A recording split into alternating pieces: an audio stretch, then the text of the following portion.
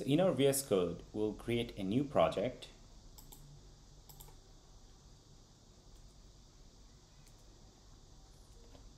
And we'll select the folder. Then we'll give it a name.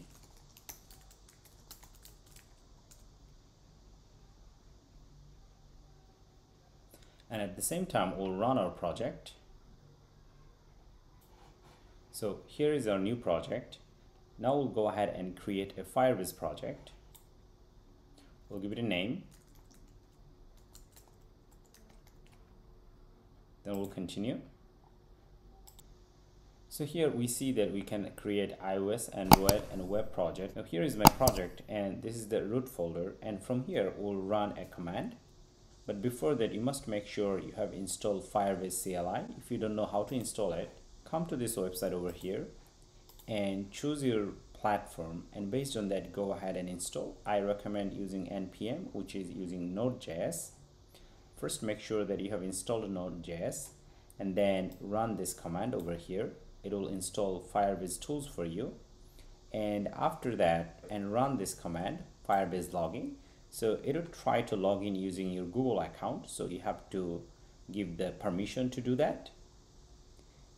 And then you're pretty good to go. Now we'll come back to our project over here. Here we'll run Flutterfire configure. Now it is bringing all the projects that we have in our Firebase.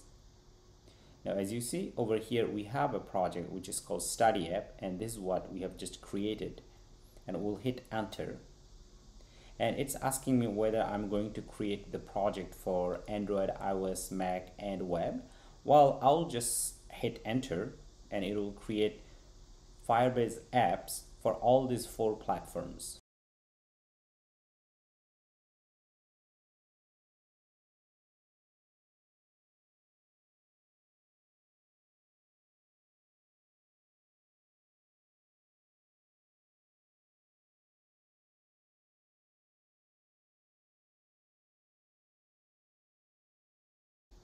and over here we'll enter yes and here we are done.